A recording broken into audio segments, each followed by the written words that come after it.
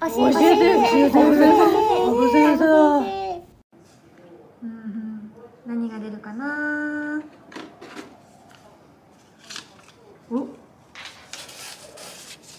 ハブちゃんが思わずキュンとしたメンバーエピソードありますかてんちゃんと